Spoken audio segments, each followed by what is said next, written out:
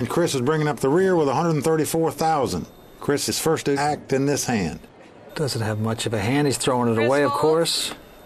And look at Phil here. What's he's just going to call this? Hey, look at this, Vince. He's changed his style. So far, he's raised every time on the button. That's failed miserably. Now he's going to try a new tactic. He's just limping in on the button. Okay, so he's in a great position, but he's just calling, limping in, as you say. He's just calling it. Very interesting.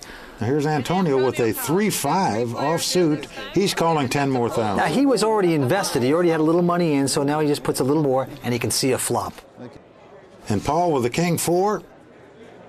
Okay, seeing as they want to see a flop, let's see one. He said, let's see a flop. Who's going to get lucky? Flop comes king 10-6. Flop comes king 10 6. Antonio Three quickly different checked. That helps Mr. Darden with a pair of kings now. And he's betting it. He bet 60,000. Paul bets He flopped the top 60,000. pair. He's got two kings. Look at Phil with his money out, counting it up.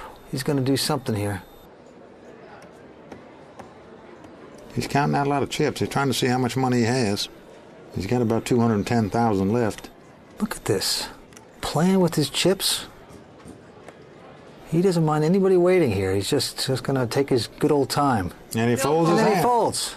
And Antonio, Antonio folds. folds. Look And at this. Paul picks up another pot. Phil had second pair. Give Phil credit. A great laydown on his part. Earlier this season, Phil Hellmuth placed third in Aruba and just missed making two other WPT final tables. For most, that's pretty impressive. But for Phil Hellmuth, you don't just get close. You're supposed to win. Haven't been playing my style for a while, so it's been six months of kind of, you know, not much great's been happening. And now, all of a sudden, through mistakes I've made the last two weeks, and I figured some stuff out. Phil, you're doing this wrong and this wrong. Nip it in, and let's play some poker. I just need to focus on winning. And a focused Phil Hellmuth can be an intimidating opponent with an incredible feel for the game. I mean, come on. I know when people are lying. People can't hide. People want to hide, like Chris Ferguson wants to have hair over his face and a hat way down and sunglasses on. I can still look down underneath Chris Ferguson's hat, and I'm going to get some clues. I mean, I'm a profiler. Why did they make this bet? Why do they have this look on their face? How much you got left? Why did they say this? Why did they say that? Boom, another card's come off. And all this information adds up to one key decision that I have to make. Boom, boom, boom, boom, boom, boom, boom. Information from me, boom, make the right decision. The last three big tournaments that I played in, I had a vision of who the person was that was going to win it. Three out of three times I didn't see myself win it. Three out of three times it was the person I saw win it. This time, I didn't see any of the other five win it. That's all I'm going to say. Well, Phil sure got his work cut out for him here today. Four players left. Paul Darden is a massive chip leader with nearly 900,000 in chips. Antonio second with about 300. Phil third with about 200. And Chris is in last position with about 100. So he's going to have to make a move quickly here. Now notice Antonio just folded a king queen, Vince. Now that is kind of surprising in a four-handed game. He's just throwing it away. Now it makes it up to Paul. Now Paul got to see that Antonio was throwing his hand. He has a, let's see, he has a four ace in his hand. Whenever you have an ace in a four-handed game, it's a pretty good hand, and he's going to raise it. 100,000. Well, he's the big chip leader. He's playing against the two blinds now. He's got ace high. He raises the pot. He comes in for 200,000, meaning both Chris or Phil are going to put all their chips in if they play this pot.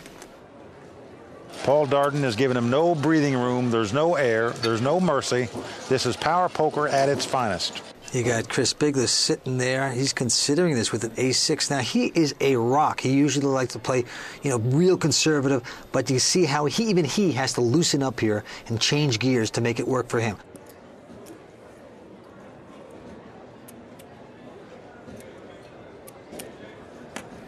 And here he goes. He's going for it. He's doing it. What a great, inter- interesting call. Phil folds. What are we going to see here? Please. We've got ace six offsuit for Chris, ace four for Paul. Now, there's a good chance this could be a split pot before it's over. Nine. It comes ace, jack, nine, which means both players have a pair of aces, and they're going to use the jack and the nine and the ten kicker. So right now there's going to be a split pot unless a six or a four comes up. Give me another club. And I want to chop it. Notice Chris could have won if a club comes up there. It's an eight. So he had the flush draw split also. Nice hand. Now what's amazing about this pot is, remember Phil folded a jack eight, he would have made jacks and eights, Antonio folded a king queen. He would have made the best straight possible. Kickers on the board. Both of the two guys that folded out of the four would have won the pot had they played. As it was, And Chris and Paul Chris. split We'll the give you the pot. chip count in Chris stays alive in the competition with four left. Well, you see some really aggressive poker here now. You see, if you have an ace in anything, it's time to raise. That's how you have to play. You have to play real fast when it comes down to the last four. The action is on Paul Darden, our big chip leader at the moment. Paul doesn't have a good hand. He folds. Paul folds. Chris Bigler has a 9 5 offsuit and he's going to fold. And now it's the battle of the blinds. Our two young aggressive tigers, the ones that are battling each other hard. Well, Phil's going all in like he should. He has a pretty good hand, King Jack offsuit, Could two different suits. He's going all in against his nemesis, Antonio. Now Antonio's sitting on 300,000. He has him covered. If he calls and plays and wins this pot, he will knock Phil Hellmuth out in fourth position. You know, it's amazing too. Is that he has King Queen. He has a a- he has a better hand. What's he gonna do? Well, we can see he's in a dominating position right now, but if you're sitting at the table, if you don't know Phil Hellmuth's hand and a guy moves in for you for 200,000 and you're looking at King Queen, it doesn't look that big, especially when you only have 300,000 in chips. This is the ultimate test for Antonio the Magician right here. Kid, I'm rooting for you to call. Gotta be honest with you. I'm rooting Phil cracks me up because you know, he doesn't know what to do against Antonio, his nemesis, who's been beating him all day. You know, he doesn't know whether to stare at him, get up at the table. Now he's starting to talk to him.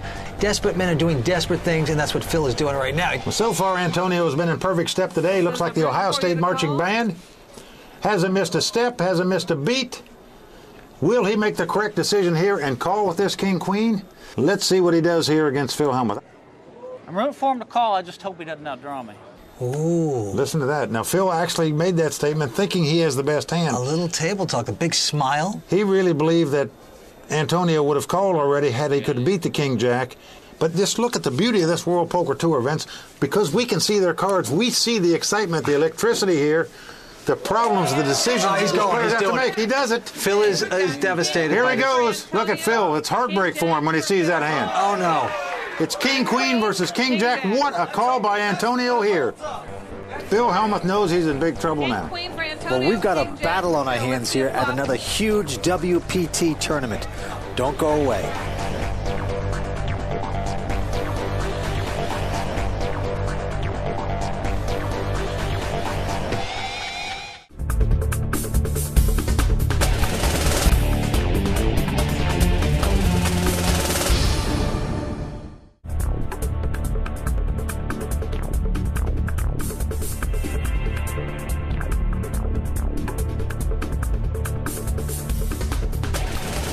We are back at the finals of the Lucky Chances Gold Rush tournament, and right now Phil Hellmuth, the poker great, is in a world of trouble. Yeah, well, Phil wants to win so bad he can taste it.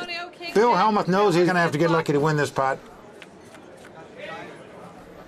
No, not yet. Five, three, King Queen Big favorite Antonio is still in front after three cards. Let's see the next one. Nope, it's not going to do it for Phil. Phil Hellmuth needs a jack, or he will be out of this tournament in fourth position. Phil needs a jack now to stay in. Let's see the last card. And a queen comes up at the river. Antonio wins the pot. He knocks out the legendary Phil Hellmuth. Antonio's done it. The arms are raised up above.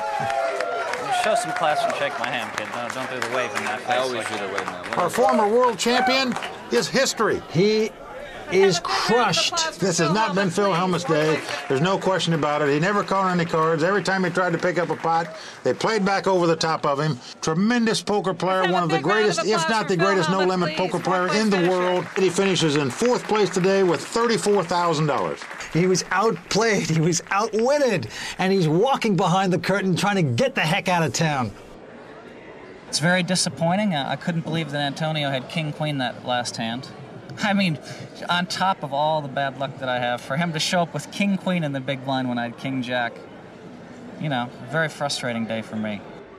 Phil Hellmuth finishes in fourth place. He will now have plenty of time to check out the Lucky Chances Casino and the rest of the San Francisco Bay Area. More like jump off that Golden Gate Bridge. and our Shana Hiatt's been taking a look around town, too. In the mid 19th century, if you wanted to try your luck in the number one spot to gamble in the U.S., you first had to go west, young man, all the way to San Francisco. 150 years after the first golden age, Lucky Chances Casino opened just south of San Francisco and continues the tradition of offering the biggest and the best action the Bay Area has to offer. The people in the Bay here, area here, they love poker. Full house, baby! It's terrific. It's a terrific little casino. We have uh, a wide variety of poker games. We play seven card stud, Omaha, Texas Hold'em, anywhere from a 3 6 limit to a $1,000 buy in no limit game. Every Wednesday and Friday we have live no limit games 10, 10, 20 blinds with a $1,000 buy in. What that means is at any one time you can lose all of your chips on one hand. People buy into that game for $10,000 on a regular basis. What they like about Lucky Chance is the staff. The staff here is very friendly. We have very professional dealers, some of the best in the industry. The food's been good too. So if you're ready to try your luck in a casino that has history on its side, here's some advice. Go west. At two four. There's certainly a lot of history here in the Bay Area. Absolutely, and that includes half of the final table. Phil Hellmuth, Vince Burgio, Tommy Garza, their history. Well, let's get back to the action with Chris Bigler on the button. And he goes all in. Here goes Chris Bigler all in on the button with a Jack 10 offsuit. How much is it, dealer? Okay. Now, that that goes to show you that's how you got to play. You're down to three players. You have a Jack 10, you push it. Everything. Well, he's got 115,000 is all. And here comes Antonio. Antonio has two sevens in this pot. And he's going to play with him. Yeah, I don't blame him. He's going to play that real quickly. Antonio calls. It's likely that Paul will get out of their way, and he does. This is two sevens against the Jack 10 offsuit. The two sevens are a very slight favorite to win this pot. I think Chris did the right thing by moving in there, and I think Antonio did the right thing by calling. So Antonio's a little bit of favorite. Here we go. He's still in front with the pair of sevens. Chris is going to need a Jack or a 10. Chris needs a 10. Let's And he spikes Oh. a 10. Chris Bigler has caught a 10 on the turn. That's now a Antonio's sickening got card. he's got to have a two outer. It's an 8. So He, Chris he does not double- get it. Chris Bigler has doubled up with a Jack 10. He got lucky on 4th Street there to outdraw Antonio. It's the first bad break Antonio's had today. And it happens so quick. Just a turn of the card can change your life. Chris happened to get lucky and win the pot. We still have a three-handed race. Things are starting to look up for Chris Bigler, and as Shana found out, that's a welcome change. Chris Bigler goes the extra mile to play poker. From his home in Switzerland, he's traveled to WPT events all over the world. But his trip to San Francisco has been the wildest one yet. On Wednesday, I played the major event of the tournament, in the, the leader tournament in Amsterdam. I got knocked out on Wednesday on Wednesday night, so I took the early flight Thursday to to Los Angeles, and from LA there was a delay to go into San Francisco because of bad weather. The whole trip from L- from LA to here took me eight and a half hours. After that, I, I couldn't sleep very well, so I came here, played poker, played a tournament, made the final table. The next night, I had only three three hours sleep, and then I played tournament yesterday till five in the morning. But I feel good. I gotta win this today. And all this from a guy who's retired. I had a computer software business, and that computer software business I sold. So I'm, I'm kind of a retired business person, but I play tournament poker full time now. Full time means I still live in Switzerland. There's no poker in Swi- no real serious poker in Switzerland.